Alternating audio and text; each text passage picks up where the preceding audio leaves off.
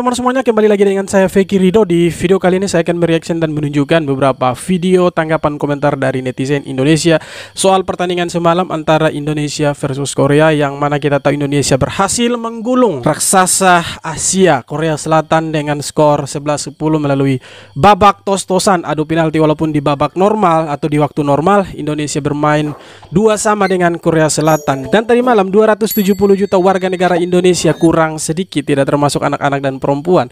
Itu begadang. Kalau kita di timur bilang mete. Untuk menonton timnas kebanggaan kita berlaga dan berhasil. Walaupun kita kering darah mete sekian jam kita punya hasil yang sangat luar biasa. Indonesia berhasil menggulung Korea Selatan Raja Asia Raksasa Asia dengan permainan yang sangat luar biasa. Di babak pertama kita punya peluang yang cukup bagus, ada 3 sampai 4 peluang. Kita maksimalkan menjadi gol dua peluang dan dua peluang lainnya itu terbuang sia-sia padahal itu adalah peluang emas yang didapatkan oleh Marcelino Ferdinand tapi sudahlah Indonesia sudah berhasil melaju ke babak semifinal dan akan menunggu pertandingan antara Arab Saudi dan juga Uzbekistan. Oke, tanpa berlama-lama lagi mari kita simak sama-sama komentar dan netizen. So, let's go.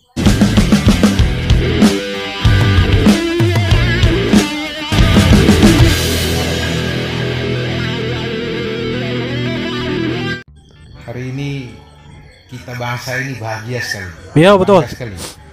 Timnas U23 mempersembahkan yang terbaik buat Indonesia ya, lolos Hmm. final ya di Piala Asia U23. Ya, Sintayong luar biasa. Kita bangga, kita bahagia hari ini. Tapi kasihan Sintayong. Dia sepertinya tidak bisa pulang kampung lagi. Orang Korea Selatan sudah benci dengan dia. Orang sudah tunggu-tunggu dari tikungan-tikungan. Tetangga-tetangga juga sudah tidak mau tunggu dia lagi. Jadi saya sarankan segera ambil tindakan, segera dinaturalisasi Sintayong, segera. Naturalisasi itu Sintayong. Itu sudah, oke tidak? Eh, itu sudah. Ini ajang pembuktian Sintayong waktu dia melatih Korea Selatan di timnas senior. Dia sempat dilempari telur oleh fans Korea Selatan. Teman itu videonya beredar luas teman-teman ya. Tapi sekarang dibuktikan bahwa negara yang dia latih saat ini Indonesia berhasil menggulung negaranya sendiri gitu dan kabarnya Sintayong tidak akan pulang lagi ke Korea Selatan gitu. Towel mana towel? Wow, towel dicari. Towel, mana towel? Towel towel. Bagaimana reaksi Towel ketika tahu Indonesia itu berhasil lolos ke semifinal? Kita harusnya ada video nih untuk lihat si Towel itu reaksinya bagaimana. harusnya kita challenge ketika tanpa akan jalan apa yang akan dilakukan oleh Sinteyong itu orang siapa sih cuy? Kok statementnya kayak orang-orang timur sih? Masa cara men-challenge Sintayong dengan cara kasih aja dia timnas kita yang gak full power? Gimana sih? Semua orang di mana-mana pasti mau maksimalkan apa yang mereka punya. Nah, Gitu betul. Masa si Nathan disuruh nggak main? Aneh deh. Dan karena gue ini konten creator bilang film, nih gue kasih analogi versi filmnya. Statement Coel itu sama aja kayak gini cuy. Waktu tahun 1980 sampai 1990-an Marvel ini kan bangkrut gara-gara penjualan karakter sama DC Comics. Dia ngejual-jualin karakter kayak Spider-Man, Hulk, X-Men, dan lain-lain. Terus pas tahun 2000-an awal, Marvel dibeli nih sama Disney. Terus Disney mau bikin cinematic universe yang namanya MCU. Let's see misalnya Marvel nggak pernah bangkrut dan nggak pernah ngejual aset-aset terbaik mereka. Gue yakin 100% film pertama dari MCU bukan Iron Man. Melainkan either Wolverine atau Hmm. Spider-Man atau Fantastic Four. Kayak, karena Iron Man di komik ya, dia nggak seterkenal itu. Tuh, analoginya gitu, biar lu paham seberapa kurang pinter statementnya si Toel tadi tuh. Hmm, kayak gitu dengerin. Itu sama saja dengan dia minta Argentina gitu. Kalau mau tahu jagonya pelatih Argentina jangan kasih main Messi, Julian Alvarez, Emi Martinez ya kau gila. Seperti yang coach Justin bilang. 11 Messi tidak akan bisa juara Piala Dunia. Ini sebuah tim begitu, tidak bisa disederhanakan dengan pikiran seorang Towel. Ya kira-kira begitu teman-teman. kalau disuapin terus sama Erick Thohir enak betul Sinteyong gitu loh Stop bahas Bung Novel. Mohon maaf kali ini saya melenceng dari kompetensi saya sebagai seorang hipnoterapis. Saya memperhatikan Nah, kasih statement sama dia dulu. mengenai timnas sudah tidak realistis lagi. Saya melihat dia Hmm. statement dengan rasa benci. Entah apa yang diperbuat Coach Sintayong sehingga Bung Toel membenci beliau. Kebencian membuat emosi Bung Toel terakses dan akhirnya rasionalitas beliau menurun. Sehingga dia tidak berpikir lagi sebagai seorang pengamat, tetapi dia berpikir sebagai seorang haters Sintayong. Hal seperti ini sering saya temui pada klien-klien saya. di mana kebencian mereka merusak pemikiran mereka. Mhm. Tentu saja kasus ini ada pro dan kontra. Tetapi sebagai warga negara Indonesia, kita harus mendukung setiap perubahan positif yang ada Yes. di Indonesia ini. Tidak Setuju. terkecuali pada timnas. Singkirkan rasa marah kita kepada Bung Toel dan stop membahas komen-komen negatif beliau terhadap Sintayong. Karena kebencian kita kepada komen-komennya akan mengganggu rasionalitas kita juga. Dan akhirnya kita lupa mendukung timnas dengan energi yang positif. Ini konten pertama dan terakhir saya tentang Bung Toel. Tetap dulu kemajuan Indonesia, apa pun hasilnya nanti. Saya, Halid Terapis. Terima kasih. Permasalahannya kalau kita tidak mengcounter statement-statement dari si Towel maka akan timbul pemikiran-pemikiran di masyarakat bahwa yang dilakukan oleh Sintayong ini itu karena dia dimanjakan oleh Ketua PSSI Pak Erick Thohir. Tapi sebenarnya tidak juga ya Karena memang dia pelatih saat ini Dan kebetulan Pak Erick Thohir itu Ketua PSSI ya. Mau tidak mau Apa yang diminta sama Sintayong Ya harus ditepati Harus dituruti sama PSSI Kira-kira begitu. Oh ini videonya Towel ini. Sampai sampai? Saya melihat Uh. Silakan teman-teman kasih satu kata buat orang ini. Bahkan sampai Indonesia masuk ke babak semifinal pun dia bilang dia tidak mengakui gitu.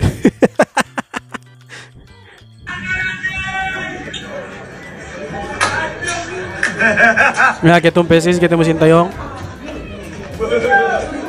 Woo!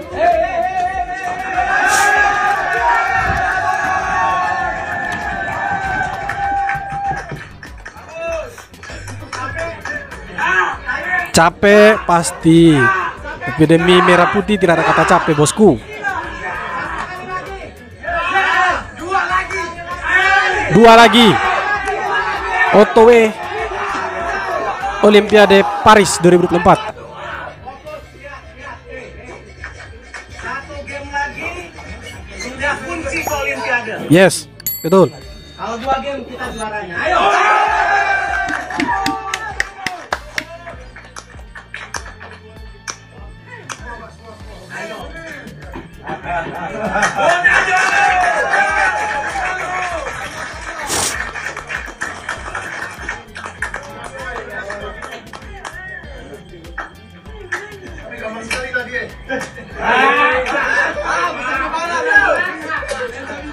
Hernando, player of the match. Luar biasa Hernando hari kiper Indonesia nih. Oh, the best player dari malam itu. Kok ada eh orang tinggal di negara yang timnasnya jago? Gua, gua anjing gua. Ya Allah, menang lawan Korea Selatan lu. Dulu kita lawan Safisali CS aja Malaysia deg-degan. Sekarang kita menang semifinal Piala Asia lu. Mau 2-3 kayak bodoh amat. Yang penting semifinal. Hmm, Udah pokoknya hari ini kalau lu telat bilang aja sama bos lu. Lu norak nonton bola gila di negara lu lagi menang lagi bikin sejarah. Sibal. Gak maksud gue emang boleh sedek-dekan ini timnas di hari Jumat. Apakah ini namanya Jumat berkah kah manis? ini sampai ada yang komen di video gue menang penalti ya bangga eh pindah ya lu ke negara Uganda sama Bung Toel. yang bikin kita itu jantung mau berhenti dari kita pembadan itu waktu si Justin Hubner tendang bola itu di tepi sama kiper Korea Selatan. Untungnya kipernya itu buat gerakan duluan dan itu sebenarnya itu pelanggaran, dilarang itu sama FIFA itu. Makanya diulang tendangannya Justin Hubner itu. itu membuat kita itu hampir stop jantung. aman ini pasti aman. Selamat buat timnas U23 kita selamat yang sudah berjuang mati-matian maju ke babak semifinal luar biasa. Kalian keren banget terima kasih sudah berjuang jerih payah sampai masuk ke semifinal. Semifinal Indonesia datang semifinal Indonesia datang Indonesia datang tanpa Bung Toel karena Bung Toel sibuk lapin bolanya arahan wer dia belum mengakui begitu. Entah sampai kapan dia mengakui kehebatan Sintayong dan kehebatan timnas Indonesia yang sekarang. eh, ini bukannya yang dihujat sama netizen Indonesia kan? Mari kita lihat ulang. Supporternya Qatar ini kalau tidak salah. Woi mana kot muka? Nah, eh bukan ini orang Indonesia lah. Iya, itu tadi pendukung Qatar itu orang Qatar tadi itu. tiba-tiba dia sudah dukung Indonesia gitu. Karena Qatar su pulang kampung tuh. tak mustahil untuk Indonesia melakukan kejutan juga terhadap Korea Selatan. Kalau tanya prediction aku agak susah kali ni. Mungkin sengit. Oh, aku predict uh, Indonesia 2, Korea Selatan 2. Wow. Okay, diorang akan berlawan sampai ke sepakan penalti. Indonesia akan menang dan Hernando Ari akan menyelamatkan uh, salah satu penalti tersebut. Kita tengok macam mana nanti guys. ini apakah sebuah kebetulan atau memang prediksi dia ini ya jitu gitu ya? Karena apa yang dia prediksi ini betul begitu. Indonesia diselamatkan oleh Hernando Ari ketika adu penalti gitu. 네, 뭐 강점이라 하면 아니, 건- 신태용 konferensi pers dari 감독이 pelatih 있는 게 ini. 강점인 것 같고요. 그리고 또 Korea Selatan. 해외에서 어, 귀화한 선수들이 그 어, 아주 적, 어, 요소 요소에 배치가 돼 있고 또 공격진에 재능 있는 선수들이 있기 때문에 그런 나. 것들이 이 강점이라고 생각하고 뭐 이거는 뭐그 어, 상대의 강점도 중요하지만 뭐 승부를 내야 되는 경우이기 때문에 예, 그런 부분들을 잘 우리가 제어하고 어, 우리 강점을 나타낼 수 있게끔 준비하겠습니다. Ini pelatihnya Korea saja, dia mengakui Indonesia itu untungnya ada Sintayong dan penempatan pemain di posisi-posisinya mereka itu sangat tepat sekali. Makanya dia bilang di pelatihnya Korea, itu Indonesia punya striker itu semuanya berbakat. Artinya Sintayong punya pemikiran, punya strategi itu luar biasa sehingga dia mampu untuk menempatkan para pemain ini di posisinya yang betul-betul dia punya posisi begitu. Semifinal, welcome, welcome, welcome Indonesia lolos ke semifinal setelah mampu Yes. Korea Selatan U23 lewat drama adu penalti 11-10 Luar biasa dramatis, dramatis sekali dan dengan hasil ini Asli. Indonesia U23 akan Sangat-sangat menghadapi dramatis. Uzbekistan jam 9, 3 hari lagi jadi menurut gue ini spektakuler target dari PSSI hanya sampai 8 besar tapi memang STY PD 8 besar, Bang. akan bisa sampai semifinal bahkan olimpiade dan olimpiade selangkah lagi selangkah lagi. Yes, kalau kita betul. menang di semifinal Uzbekistan kita sudah pasti masuk olimpiade. Tapi kalaupun kalah belum. Belum gagal. Ya artinya kita masih punya kesempatan untuk lolos olimpiade karena Ikut playoff ya. peringkat ketiga. Kalau kita menang kita lolos olimpiade. Kalau kalah pun kita masuk playoff olimpiade. Iya, jadi masih ikut playoff. peluang masuk olimpiade itu terbuka lebar. Eh, akibat kita lolos semifinal ini walaupun tadi eh, sebenarnya kita harusnya bisa kill di game 90 menit tapi memang inilah semifinal sama kayak Qatar Jepang. Kesulitan juga lawan 10 pemain Qatar akhirnya Hmm. eh, extra time dan di extra time memang diselesaikan kalau kita harus ada penalti. Sangat amat luar biasa. Sukses tim pelatih sukses tim PSSI juga. Pemain semua supporter jangan lupa yang selalu hadir di stadion memenuhi semua elemen bekerja keras semua elemen eh, berkontribusi untuk lolosnya timnas U23 untuk pertama kalinya ke semifinal luar biasa tinggal dituntaskan olimpiade kita pasti datang salam sepak bola Indonesia segitu dulu Tinggal kita selebrasi di depannya haters begini. Cia. Taruh tangan telinga begini. Cia. Atau begini. Akhirnya Indonesia Antara senang dan sedih. lawan Korea. Berangkat kerja ketar Wih, gua kerja di mana, Bang? Siap-siap kena semprot si Palsekia sama yang punya kawasan. Oh, dia kerja di Korea Selatan. Oh, habis sudah kau. Drama Korea terbaru, Streak bikin stres Korea. Oh, menangis. Oh, kasihan.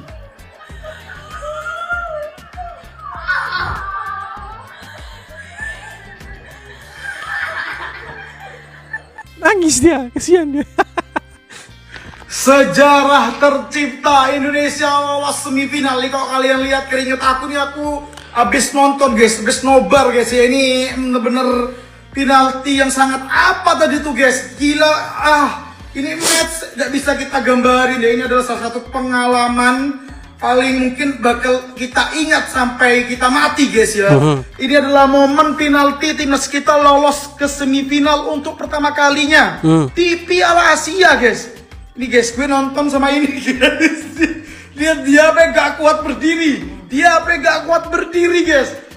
Alhamdulillah, Alhamdulillah. Kalian kok lihat ini? Keringat aku guys. Ini keringat aku, ini bukan air, ini bukan apa. Ini keringat guys, nonton timnas kita guys ya. Ah, Garuda kamu lolos ke semifinal. Tidak ada yang percaya gitu Indonesia bisa lolos semifinal itu. Nangis rasanya guys itu guys. Siapa yang mau percaya Indonesia? gitu? Korea nih bener-bener sulit Korea ini raksasa men seperti gue lihat lawan Oh, Daud gitu.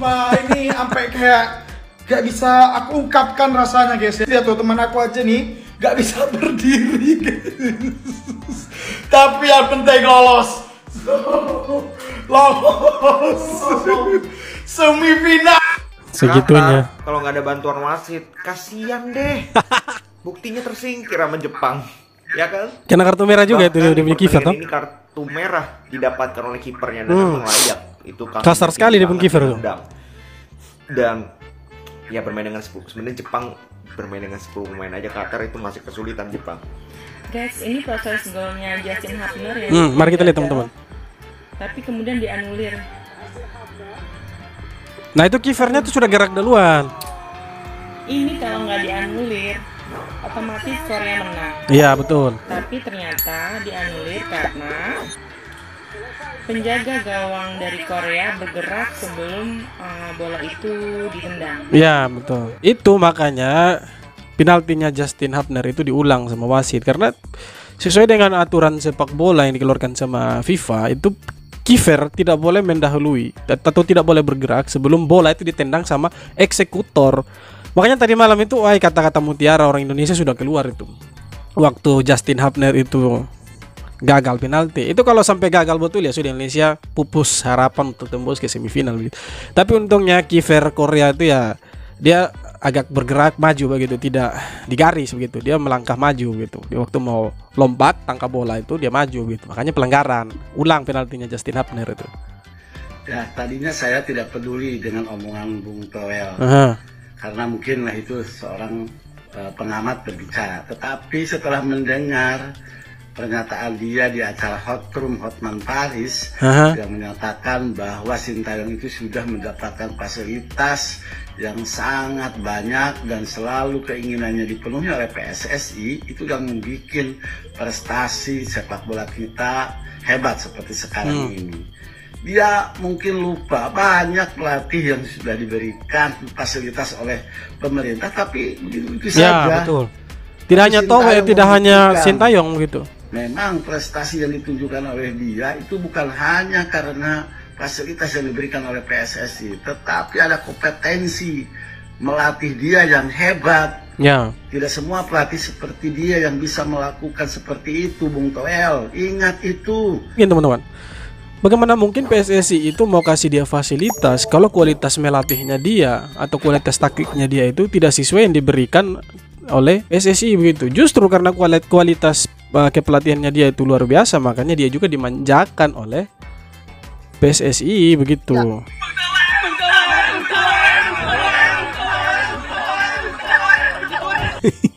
Semua cari towel.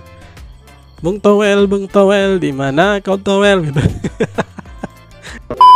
Oke teman-teman semua jadi itu dia beberapa video komentar dari netizen Indonesia soal pertandingan semalam antara Indonesia melawan Korea Selatan. Jadi memang pertandingan yang penuh dengan drama Dan kalau kita mau membahas atau mengulas pertandingan tadi malam itu ya tidak cukup dalam satu video teman-teman. Karena luar biasa sekali permainan dari Indonesia. Kalau kita melihat dari jumlah shoot atau penguasaan bola pun Indonesia unggul teman-teman. Penguasaan bola itu Indonesia masih unggul. Dan shootnya itu sekitar 21 shoot. Wow ngeri 21 shoot men. Kasih kalah Korea 21 shoot. Tapi sayangnya di babak kedua Indonesia kurang maksimalkan peluang. Padahal Korea sudah main dengan 10 orang. Korea sudah main dengan 10 orang Karena pemain nomor 6 mereka itu terkena kartu merah. Karena dia menyikut si Justin Hapner teman-teman dan overall permainan Indonesia transisi bertahan ke menyerang atau menye- menyerang ke bertahan itu luar biasa sekali. Dan satu saja celahnya kita timnas Indonesia ya. Sorry teman-teman kita harus bicara juga ada sedikit kekurangan ya dari sisi pertahanan ya sebelah kanan gitu. M Fajar itu aduh dan juga Rio Fahmi itu beberapa kali itu pemain Korea Selatan itu bisa tembus ya bisa merengsek masuk ke kotak penalti Indonesia. Untungnya ya kita punya Hernando Ari punya Rizky Ridho punya Pratama Arhan dan juga ada Justin Hapner ya punya Nathan Joaon ya jadi masih bisa menutup lubang-lubang yang diciptakan oleh pemain ini begitu. Seperti Rio Fahmi ada Fajar gitu tapi ya overall Indonesia bermain sangat bagus. Di babak pertama kita punya 3 sampai 4 peluang dan dua gol itu tercipta dari peluang yang sangat luar biasa dari hasil uh, kaki ke kaki tiki taka ya. Uh, itulah permainan Indonesia yang memanjakan kita para penontonnya begitu. Tidak ada yang menyangka Indonesia bisa tembus ke semifinal karena Indonesia itu hanya disebut sebagai negara underdog. Tidak dianggap sama sekali oleh netizen bahkan negara-negara lainnya. Tetapi faktanya berbicara lain teman-teman di atas lapangan Indonesia menunjukkan kualitasnya bahwa Garuda itu bisa terbang tinggi bahkan mengalahkan harimau Korea Selatan. Indonesia mampu menggulung mereka dengan skor 11-10 melalui titik putih atau adu tos-tosan gitu. Dan seperti apa tanggapan kalian? Silahkan tulis di kolom komentar dan semoga Indonesia bisa menang lagi di semifinal. Kita masih menunggu pertandingan antara Arab Saudi melawan Uzbekistan. Siapa pun pemenangnya akan kita lipat juga dan kita tidak akan pernah takut dengan siapa pun lawannya. Kita akan terus injak gas. Jangan pernah rem sampai titik darah penghabisan sampai Indonesia menjadi juara. Targetnya Indonesia sampai 8 besar saja perempat final dan Indonesia ternyata eh, tidak sampai di situ. Lewat lagi. sampai ke semifinal dan semoga saja sampai ke final dan langsung lolos ke Olimpiade Paris 2024 ya. Kalaupun tidak menang nanti lawan Uzbekistan atau Arab Saudi di semifinal, Indonesia masih punya satu tiket lagi melalui babak playoff di tempat ketiga untuk ke Olimpiade Paris. Oke teman-teman, so silahkan tulis komentar kalian di kolom komentar tanggapan kalian seperti apa. Jangan lupa untuk like, comment, dan subscribe. Terima kasih banyak sudah nonton video sampai akhir. Kita jumpa lagi di video-video berikutnya. Hormat.